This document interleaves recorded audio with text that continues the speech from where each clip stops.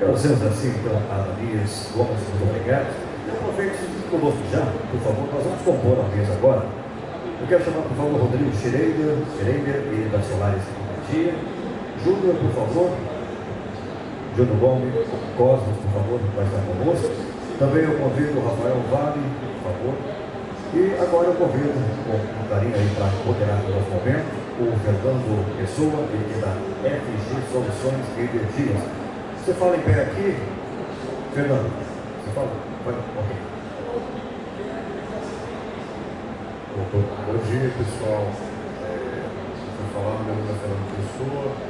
Gostaria de agradecer aí a oportunidade aí da equipe da FG participar desse evento. É, com, bom, com o papel de moderador, vou colocar algumas considerações se me permitir, eu vou fazer algumas perguntas e vou passar para o público assim que eles responderem, porque talvez algumas perguntas podem ser coincidentes, certo? Então vamos lá. O nosso amigo Rodrigo Freire falou um pouco sobre o mercado de Santa Catarina, é, fez as ponderações é, de algum, é, algum momento, algum cenário regional, que às vezes, assim como o nosso amigo aqui falou, Rafael, que às vezes você tem. É, o Brasil são feitos de vários Brasis, né? A gente tem algumas é, peculiaridades é, de tributação, às vezes, de CONFAS 101, né? algumas questões de governo estadual, de, de, de políticas públicas, né? que são consideradas, mas é, eu aproveitei para juntar duas perguntas, não só para o Rodrigo, como para o Ananias Gomes, falaram sobre mecanismos, um do Estado, que foi uma, uma tomada de decisão do Estado, Pernambuco, e no caso de Santa Catarina foi uma decisão da concessionária da Celeste. Então eu queria que vocês comentassem é, sobre esse aspecto, se vocês, é, na concepção e na, e na, na, cabeça de vocês, se isso faz parte do segundo momento, se, se é válido fazer, de repente, voltar a fazer fomento pelo Estado ou pela concessionária, no momento que nós estamos passando, que é outro cenário, outra atmosfera, é, e que, que ajustes seriam feitos para o nosso momento. Né? Vocês podem responder isso? Ah, então, Fernando, bom dia. Então, esse projeto que a concessionária fez, como eu comentei antes, eu acho que no momento que temos hoje, com certeza é interessante para incentivar cada vez mais geração distribuída, né? mas em consequência tem aquela resolução da normativa nova, né? Então nós estamos agora na atualização da 482 e tudo. Então a gente gostaria que quando esse projeto da Celeste foi lançado, até vários projetos nossos que estavam na mesa, eles viram que a concessionária estava incentivando o consumidor a, a fazer o sistema solar, então isso acreditou muito nós, né? E o e até os próximos consumidores a fazer, não só de pequeno porte, que era o caso da concessionária, que era 2,6 kW instalado de potência, então mas projetos grandes também. Então eu acho que hoje uh, seria muito interessante se ela fizesse novos projetos e a normativa principalmente se mantesse da forma que está, que nem o, Rafael comentou, né? Uh, tem que taxar alguma coisa, porque tu está usando a rede distribuidora, tu está tá utilizando a rede deles, então alguma coisa assim mas não inviabilizar o sistema do jeito que eles estão querendo. Então acho que aí fica a minha colocação. Bem, respondendo aqui a pergunta do Rafael. Rafael, Pernambuco fez essas, essas iniciativas com relação ao fomento, eles tiveram características bem, bem específicas. Em 2015, o programa PSOA, por exemplo, foi lançado, duas, teve dois momentos. Tá? No primeiro momento, todo o processo do financiamento estava associado a uma linha de crédito local, e isso foi o grande é, diferencial. É, do ponto de 2015 era um mercado muito maduro, né, as pessoas ainda não tinham a consciência que tem hoje, então foi importante para aquela época e isso gerou um, certa, um certo volume de vendas para Pernambuco, ajudou até na criação de outras empresas.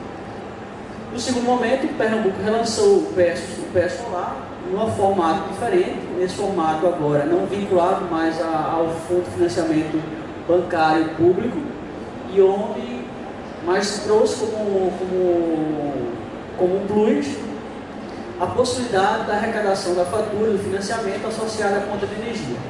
Isso também gerou um certo estímulo para o mercado, as pessoas começaram a procurar mais, mas no final, o que acontece é que esse mercado é um mercado de crédito. Né? Esse mercado é um mercado de crédito. Por mais que você tenha a iniciativa de querer colocar o solar, se não existe as fontes de financiamento viáveis, com taxa, com taxa que seja possível, o mercado termina não, não explodindo como desejamos. As duas iniciativas de governo aqui em Pernambuco tiveram surtir efeito, fizeram com que a população conhecesse mais o solar, mas sempre esbarrava na questão do crédito, que isso, quer ou não, a gente, lá, nós como empresa, tivemos que é, criar uma estrutura própria para poder atender esse perfil cliente que estava tão é, ansioso por querer pedir o solar. Bom, aproveitando o que vocês falaram, eu queria também, se possível, fazer uma observação, que aí já seria a deixa para o Rafael aqui. É, o seguinte, a gente. Eu, eu morei na Alemanha e morei nos Estados Unidos, né, em determinados momentos da minha vida. Eu acredito que o que nós estamos passando hoje em dia, ele reflete muito, obviamente, em função da matriz energética que a gente tem, é, no momento político, econômico, né? e não só isso, mas muito conflito de interesse. Né? A verdade é essa, um conflito de interesse, todos nós somos, fazemos parte da sociedade, eu até, meu pai até brincava comigo você começa a fazer lobby quando você está saindo da barriga da sua mãe. Está chorando, está fazendo lobby. Né? Então assim, é, os países que eles mostraram, Japão, Estados Unidos, Alemanha, quando, assim, no geral, quando eles vão definir a regra do jogo, são políticas de Estado, estadistas, política, né? Ela é uma política que ela envolve geração de emprego, renda, desenvolvimento econômico, tarifa barata para a população, tarifa barata para a indústria, para ela gerar PIB, para não perder uma oportunidade ou janela de mercado, até porque energia passa por tudo que a gente comercializa, ou quase tudo que a gente comercializa no Brasil. E o Brasil é um país de commodities. Né? Então, feito isso, o Rafael falou um pouco sobre o feed tariff, né? tarifa feed que é a tarifa que a concessionária em determinados países paga, compra, ela é obrigada pela legislação, a regulamentação, não obrigada, mas na regra do jogo já é dita que você tem que que você injeta, ela tem uma tarifa com preço diferenciado da tarifa que você consome. Na Alemanha é assim também em alguns estados, né? em alguns estados, e na Espanha tentaram não conseguiram. É, então eu queria que você comentasse, Rafael, é, feito em cima do comentário que eu fiz também, eu acredito muito em política de Estado, estadista, você quer gerar PIB, renda, emprego, e não você querer ceifar o mercado que está em 0,2% que é absurdo isso, né? E você mostrar o PIB que está sendo gerado, emprego, renda. Então, como é que você comenta isso com o feed-in tariff que você viu versus o que a gente já tem hoje de direito adquirido e o que eles estão propondo em termos de política de Estado?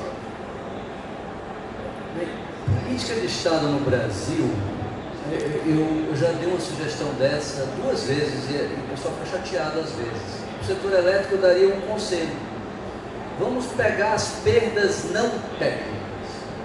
O que são as perdas não técnicas? Gato, furto de energia. Não é mais fácil combater isso? Qual é a quantidade de perda não técnica no sistema como um todo, Carlinhos? Nacional, mais ou menos.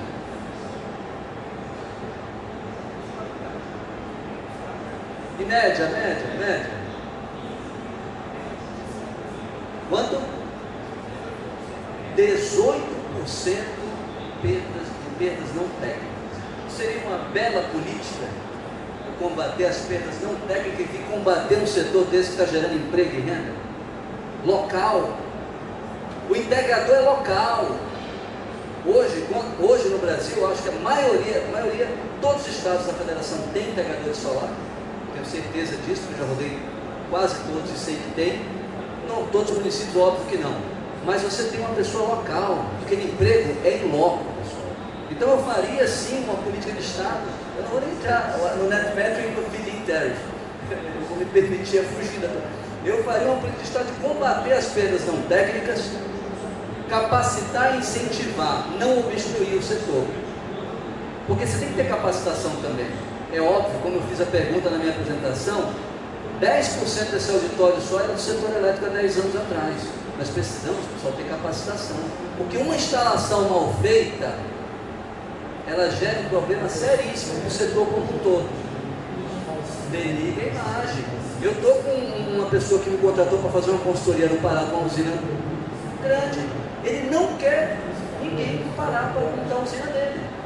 Ele ficou com um preconceito porque montaram uma usina do amigo que deu problema. E é um problema, às vezes, de cabo. Eu volto a dizer, não sou engenheiro, mas é um problema na ligação, é um problema no dimensionamento. Lá no dia da audiência pública, em Brasília, semana passada, um, um dos capacetes amarelos lá estavam me relatando e me mandaram o vídeo de uma estrutura, eu acho que é em Cuiabá, que, que, que caiu numa concessionária de veículos. Olha o impacto negativo disso. Nós estamos numa cultura que para passar uma notícia negativa a pessoa passa sem nem saber se é verdade, mas para passar uma positiva ela demora. Então você imagina a repercussão e não foi uma adaptação no telhado, o telhado foi construído desde novo. Não sei dizer, não sou perito, não conheço o caso, o que aconteceu, mas teve um problema que está reverberando negativamente para todos nós no setor. Então, eu acho que como política de Estado, é, as autoridades elas devem começar a pensar o setor elétrico, essa transição, não mexer, concordo com o que você falou, você me deu deixa, eu não mexeria na GD hoje. Rafael, você faria o quê? Deixa como está, deixa como está, deixa mais um ano, dois anos, é, tem, impõe isso, coloca uma meta. Aí, pessoal, são questões que às vezes as pessoas não, não, não conseguem avaliar ou não querem. Rapidinho para o Júnior, após o dia, como é a legislação do Japão? Você tem como comentar a gente para esse setor?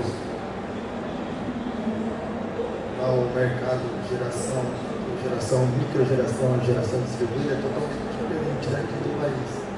Lá é, não é, aqui país é com crédito, praticamente, né? compensação. O sistema de compensação lá nosso é vendido. Então qualquer cidadão, tanto empresário quanto uma, pequena geração em casa, ou megas usinas são pagos por quilowatt-hora.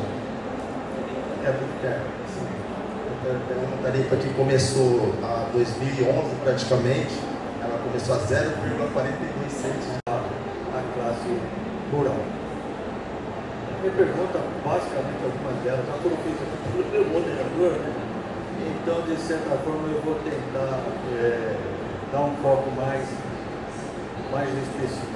Então, vou perguntar aqui para o Júnior, ainda dentro da última pergunta que foi feita, você disse que tem atuado aqui no Japão, na Arábia, em Dubai, está né? Tá chegando na Austrália e, por um acaso, está chegando no Brasil.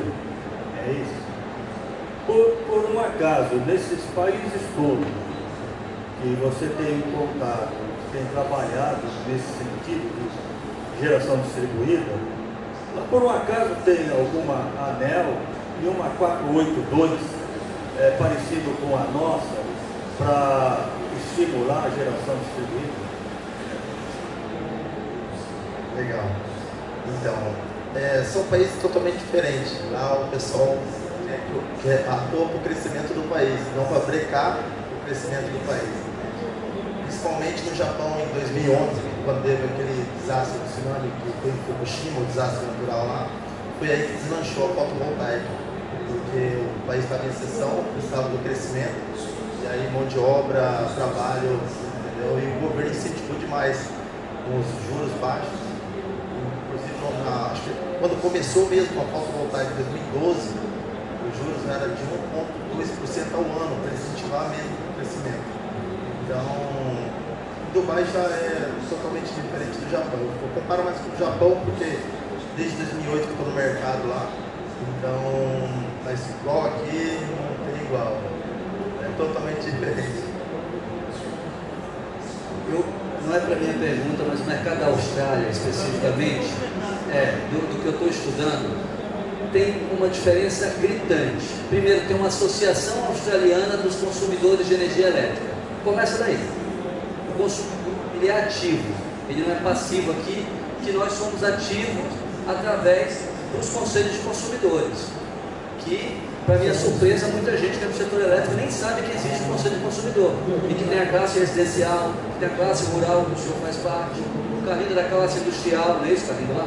Então, nós pecamos pelo desconhecimento. Então, às vezes, a pessoa está no setor que ela nem entende como o setor vai. Segundo aspecto na Austrália que eu acho interessante.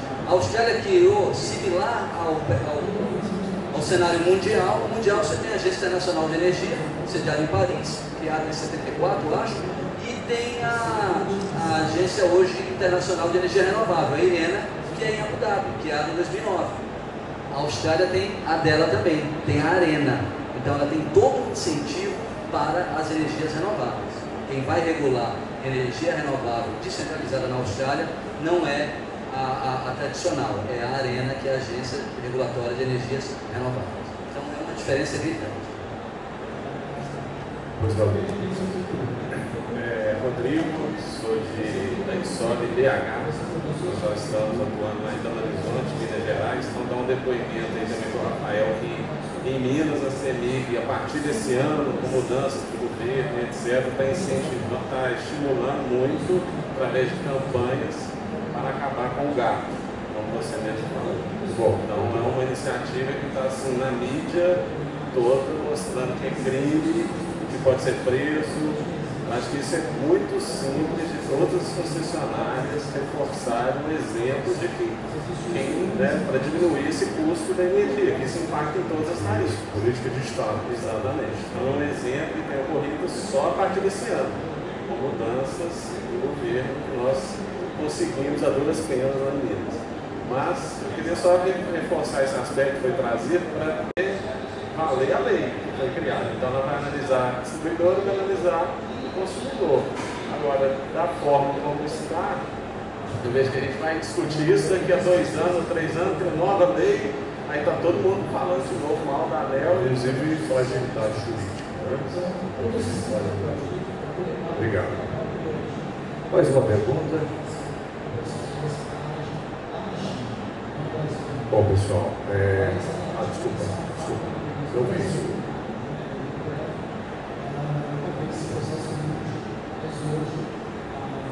É, olá, boa tarde. É, meu nome é Marcos, eu sou estudante da Universidade Federal de Pernambuco. E minha pergunta é para o Júnior. É, como você vê a relação, a diferença dos consumidores nesses países que você atua em relação aos consumidores que você vê aqui no Brasil? Como que é esse nome? Marcos. Então.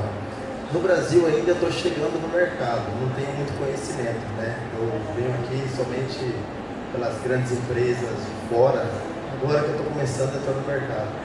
Mas lá para fora, eu tenho mais conhecimento do pessoal de megas usinas. Né? Então, as, pessoas, as pequenas empresas de consumidores, assim, microgerações que falam, né? Eu não tenho muito esse conhecimento, né? É, é GC, então, geração centralizada é eu tenho mais contato. Então, para te responder isso fica meio difícil, porque hoje é, inclusive é, em relação a residências, indústrias, eu não trabalho nessa área na Sul América, lá para fora são realmente o GC, centralizada, né? Então, você me desculpa, tá? Vou, vou te dar um complemento, sem querer ser chato, mas é, na Europa os consumidores são organizados e existe hoje até uma, uma divisão entre conceitos alguns países não utilizam o termo cooperativa. Por conta, por exemplo, os países do leste europeu, que era cooperativa era ligado ao sistema. Então eles começaram a desenvolver um, um conceito novo que é de comunidades de energia. Então, existe uma federação europeia que fica em Bruxelas, chamada RESCOP, R-E-S-C-O-P.org. Ela é a Federação Europeia de Cooperativas de Energia Renovável. Tem um papel, tem um paper muito bom lá, está em português inclusive, se chama Democratização Energética. Você dá uma procurada depois. Aliás, eu vou até deixar uma dica aqui bacana. Quem usa LinkedIn, pessoal, aqui? Muita gente usa, legal. Depois a gente pode ligar aqui no bate-papo, você liga, tem, tem uma ferramenta que você consegue enxergar quem está próximo e se conectar. Né? Boa parte desses materiais no meu LinkedIn eu disponibilizo às vezes. Então, fica a dica aí na sua pergunta. Pessoal, dada o horário aí, eu queria só finalizar e agradecer a participação dos senhores. Acredito que foi uma, uma discussão calorosa, mas é, de alto nível, né? bom nível, público acompanhou e ajudou a gente aí também a complementar. E, na minha opinião, acho que a mensagem é, política de Estado, por exemplo, tem um exemplo prático que eu acompanho de perto, indústrias indo para o Chile, indo para o Uruguai e não vejo mais o Brasil, porque dependendo da indústria, da, da atividade econômica, a energia não permite ele ser competitivo. Então, é, por que não você dar, gerar PIB no seu país, um subproduto que a gente tem recurso natural abundante, mas que às vezes o custo de capital inviabiliza a operação também. Né? E por que não a gente, pelo menos, criar regra e deixar permitir isso correr um pouco mais, chegar em 5% do mercado e voltar a conversar sobre a operação. Então a discussão é muito maior do que uma simples regulamentação, se é para fazer políticas sérias do Estado. Não é? Obrigado, pessoal. Um abraço.